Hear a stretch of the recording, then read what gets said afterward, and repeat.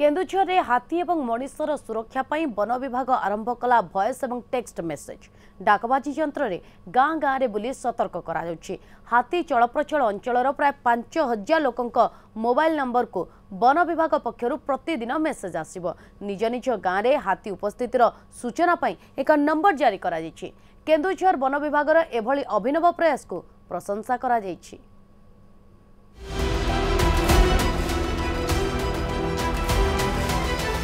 କେନ୍ଦୁଝରରେ ହାତୀ ଏବଂ ମଣିଷର ସୁରକ୍ଷା ପାଇଁ ବନ ବିଭାଗ ଆରମ୍ଭ କଲା ଭଏସ୍ ଓ ଟେକ୍ସଟ ମେସେଜ ଡାକବାଜି ଯନ୍ତ୍ରରେ ଗାଁ ଗାଁ ବୁଲି ସତର୍କ ସୂଚନା ଦିଆଯାଉଛି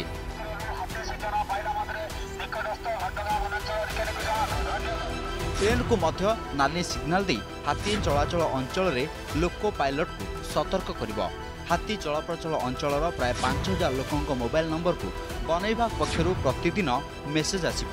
ନିଜ ନିଜ ଗାଁରେ ହାତୀ ଉପସ୍ଥିତିର ସୂଚନା ପାଇଁ ଏକ ନମ୍ବର ଜାରି କରାଯାଇଛି। ଛଅ ତିନି ସାତ ଶୂନ ପାଞ୍ଚ ନଅ ଦୁଇ ଶୂନ ନଅ ନଅ ନମ୍ବରରେ ସୂଚନା ଦେଲେ ବନ ବିଭାଗ ଶୀଘ୍ର ଘଟଣାସ୍ଥଳରେ ଯାଇ ପହଞ୍ଚି ପାରିବ। ଫଳରେ ହାତୀ ଗତିବିଧି ସମ୍ପର୍କରେ ଗାଁ ଲୋକେ ସୂଚନା ପାଇ ସତର୍କ ରହିପାରିବେ। ପୂର୍ବରୁ ହାତୀଙ୍କ ଉପସ୍ଥିତି ସମ୍ପର୍କରେ ସୂଚନା ମିଳିନଥିବାରୁ ଲୋକଙ୍କ ଧନ ଜୀବନ ହାନିର ଆଶଙ୍କା ରହୁଥିଲା। ବନ ବିଭାଗର ଏଭଳି ଅଭିନବ ପ୍ରୟାସ ପରେ ଲୋକେ ସତର୍କ ହେବା ସହ ହାତୀଙ୍କ ସୁରକ୍ଷା କରାଯାଇପାରିବ। କି ରାତିରେ ମୁଭମେଣ୍ଟ ହେବାର ଅଛି ସେ ଏକ୍ସପେକ୍ଟେଡ଼ ମୁଭମେଣ୍ଟ ଭିଲେଜେସକୁ ମାଇକିଂ କରାହେଉଛି ଲୋକଙ୍କୁ ସତର୍କ କରାହେଉଛି କି ଏଇଠି ହାତୀ ପଳ ଅଛନ୍ତି ସେ କ'ଣ ସତର୍କତା ଅବଲମ୍ବ କରିବେ ତା ବିଷୟରେ କୁହାହେଉଛି ପ୍ଲସ୍ ଯେଉଁ ଯେଉଁ ଗାଁରେ ହାତୀମାନଙ୍କର ଚଳାଚଳ ବାରମ୍ବାର ରହୁଛି ସେ ଗାଁର ଲୋକମାନଙ୍କର ଫୋନ୍ ନମ୍ବର ଡାଟାବେସ୍ ଆମେ ରଖିଛୁ।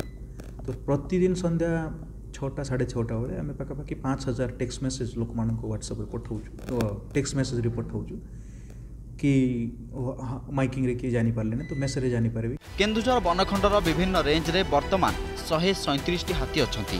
ଖାଦ୍ୟ ଅନ୍ୱେଷଣରେ ବଣୁଆ ହାତୀପଲ ଦଳ ଦଳ ହୋଇ ଗାଁ ସହର ଭିତରକୁ ପଶୁଛନ୍ତି। ଫଳରେ ହାତୀ ଓ ମଣିଷଙ୍କ ମଧ୍ୟରେ ଘମାଘୋଟ ଲଢ଼େଇ ହେଉଛି। ଫଳରେ କେତେବେଳେ ହାତୀ ତ କେତେବେଳେ ମଣିଷର ଜୀବନ ଯାଉଛି। ଅବଶ୍ୟ ବିଳମ୍ବରେ ହେଲେ ବି ବନ ବିଭାଗ ଏଇ ଯେଉଁ ପଦକ୍ଷେପ ବର୍ତ୍ତମାନ ନେଇଛନ୍ତି ସେ ନିଶ୍ଚିତ ଭାବେ ଗୋଟେ ଏକ ସ୍ୱାଗତ ଯୋଗ୍ୟ ପଦକ୍ଷେପ। ଲୋକମାନଙ୍କୁ ସଚେତନ କରିବା ପାଇଁ ସାଧାରଣ ନାଗରିକ ଏବଂ ହାତୀ ସହ ଉଭୟଙ୍କ ସୁରକ୍ଷା ଦୃଷ୍ଟିରୁ ବର୍ତ୍ତମାନ ଯେଉଁ ମେସେଜ ବିଭିନ୍ନ ମୋବାଇଲକୁ ଆସୁଛି ହାତୀର ଉପସ୍ଥିତି ସମ୍ପର୍କରେ ସେଇଟା ଗୋଟେ ବହୁତ ସୁନ୍ଦର ପଦକ୍ଷେପ। ରକ୍ଷା ପାଇବା ପାଇଁ ବନ ବିଭାଗକୁ ଦାୟିତ୍ୱ ଦିଆହେଇଛି। ସେମାନେ ଯେଉଁଠି ହାତୀ ଯେଉଁ ଏରିଆ ଦେଇକରି ହାତୀ ପାରଉଛି ସାଙ୍ଗେ ସାଙ୍ଗେ ସେ ଏରିଆର ଇଲେକ୍ଟ୍ରିସିଟିକୁ କାଟି ଦିଆହେଉଛି। ତା ଛଡ଼ା ଆପଣଙ୍କର ଲୋକଙ୍କୁ ସଚେତନ କରିବା ପାଇଁ ବନ ବିଭାଗ ତରଫରୁ ବହୁତ ପଦକ୍ଷେପ ନିଆହେଉଛି କେନ୍ଦୁଝର ବନ ବିଭାଗର ଏଭଳି ଅଭିନବ ପ୍ରୟାସକୁ ପ୍ରଶଂସା କରାଯାଇଛି।